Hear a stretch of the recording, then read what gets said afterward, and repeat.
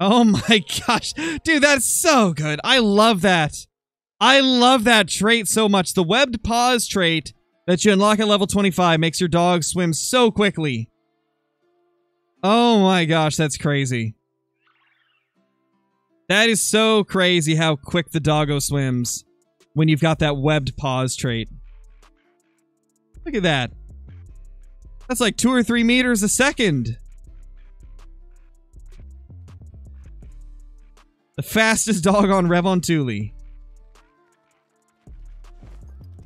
Thank you.